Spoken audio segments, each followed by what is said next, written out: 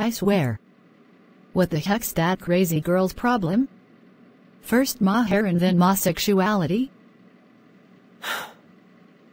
Makes me wanna shave it all off. Oh wait that's right. Don's bald so maybe.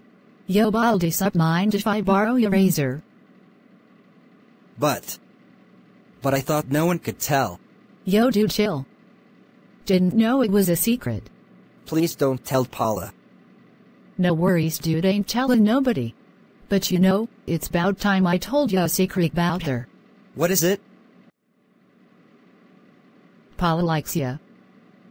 See ya. Wait! Really? Whoa! Hey Don, do you want some popcorn?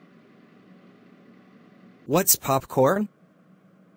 I like Paula. And she likes me.